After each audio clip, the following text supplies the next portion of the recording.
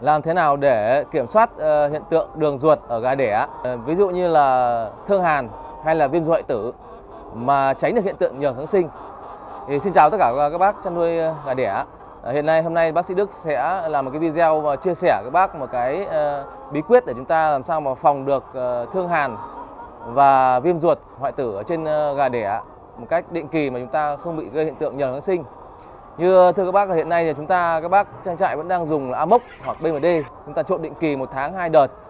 Để chúng ta phòng cái hiện tượng ờ, viêm ruột phân sáp ở gà đẻ và nhiều bác trang trại cũng chia sẻ rằng ờ, thậm chí là bây giờ một tháng trộn hai đợt và mỗi đợt phải trộn đến 5 ngày cơ. Tức là trộn 3 ngày thì cái hiện tượng mà đường ruột ở gà đẻ nó vẫn chưa cải thiện được.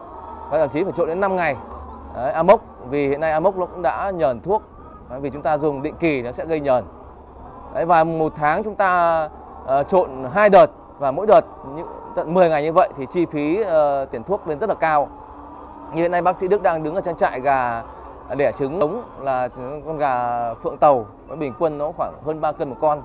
Đấy, vậy vì vậy nếu mà chúng trang trại chúng ta uh, lên tới một vạn con thì chi phí trộn phòng amox một tháng sẽ chi phí rất là cao. Thì hôm nay bác sĩ Đức làm cái video là chia sẻ với bác một cái uh, giải pháp mới đó là chúng ta dùng cái thực khuẩn thể Prophase. Đấy, thực khuẩn thể Prophase nó là một dạng ờ, virus ăn nút vi khuẩn. Nó chuyên tiêu diệt những con vi khuẩn gây hại như E. coli, thương hàn và viêm ruột hoại tử Clostridium perfringens.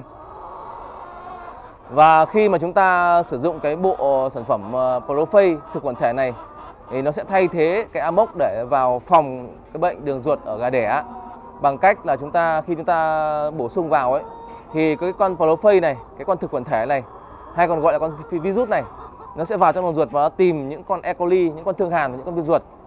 Sau đó nó tiêm nhiễm cái tiêm cái vòi nhiễm sắc thể vào trong cái con vi khuẩn gây hại đó và nó đẻ trứng ở trong con vi khuẩn đó và sau vài tiếng là nó sẽ tiêu diệt con vi khuẩn E. coli, thương hàn hay viêm ruột tử. Và một con phây sau khi ờ, tiếp xúc với một con E. coli, thương hàn hay viêm ruột ờ, nó sẽ nở ra 25 con prophase khác và tiếp tục đi tìm những cái con ờ, vi khuẩn gây hại đó để nó kiểm soát ừ, cái đường ruột cho con gà đẻ chúng ta. Và với cái những con ờ, gà mà lần đầu tiên tiếp xúc với thực khuẩn thể Prophase này thì bác sĩ Đức khuyến cáo các bác là lên cho uống lần đầu tiên cho uống 2 ngày liên liên tiếp.